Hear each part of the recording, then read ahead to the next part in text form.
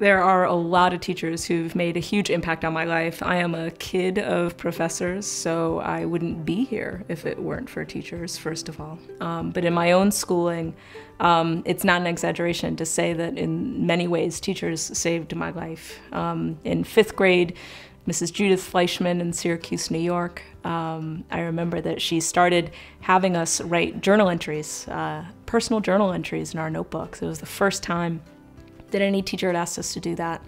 Um, and I wrote about some stuff that was really worrying me. Um, I was new to that school, I didn't have a lot of friends, I felt really isolated. And Mrs. Fleischman invited me to have lunch with her and to talk to me about what I had written and what I was thinking about.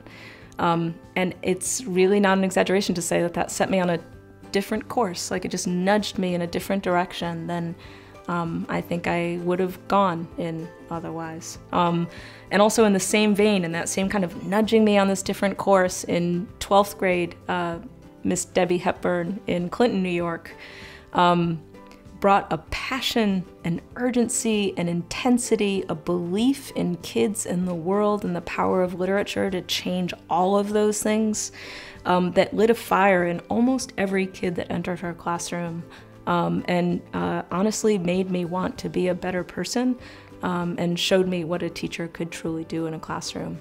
Uh, teachers are my superheroes. Um, I love Superman, but I'll take a teacher over Superman any day. Thank you.